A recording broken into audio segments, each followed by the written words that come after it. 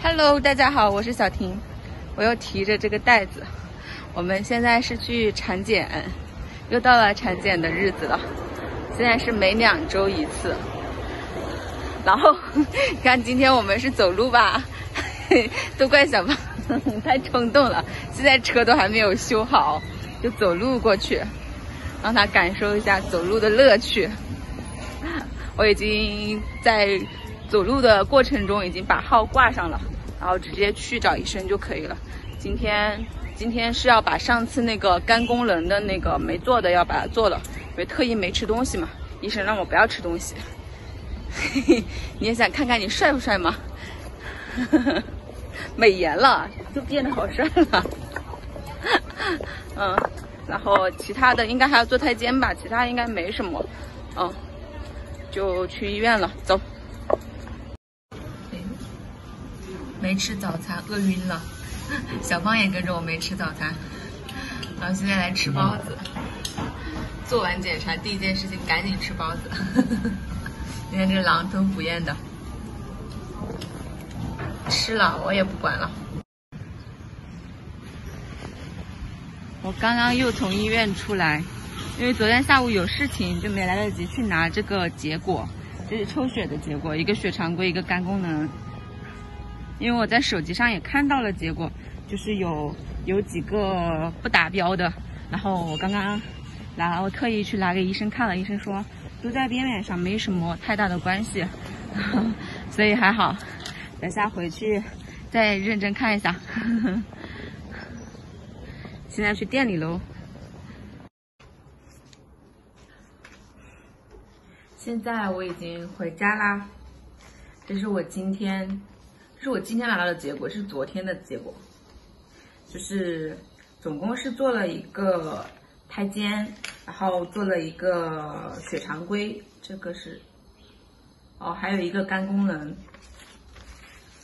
我这个胎监医生说还不错，就是都一直都是挺平稳的，胎动也还可以。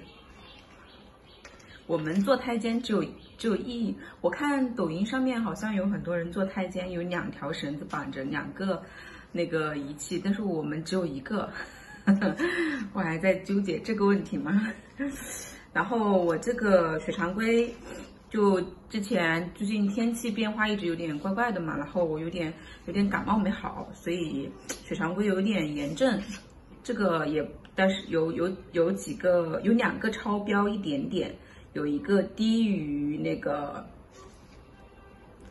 低于范围值一点点，三个三个超标，一个低一个低的，还好，就说医生说没什么关系。然后那个肝功能也是，肝功能有两个有两个低了一点点，白蛋白和那个白球比，医生说没关系，就说就是挨着它的范围，就是只是低于它最低的范围一点点。所以说没有关系，啊，我就放心了，因为我，呃，头天抽了血嘛，他是说下午才出结果，然后下午有事情就没去成，然后我在手机上看到了有超标的，也有低于的，然后我就，我就说，完了完了完了，这个要赶紧去看看，然后那天又赶不及了，然后第二天才去看，啊，就是今天才去看嘛，看了之后医生说没什么问题，那我就放心了。然后现在的话，我之前就因为我现在是三十四周多，差不多三十五周了嘛。然后医生就告诉我，昨天那个医生告诉我，他说两周后再去检查嘛。三十六周的时候也是要做胎监，然后还要做一个什么 B 族的什么什么，就是那个我又忘记名字了，那个女生应该都知道。还有呃，然后他就说从三十六周以后就开始一周一次检查了。其实我我觉得非常快了，因为很。感觉很快就要生了，下个月就生了，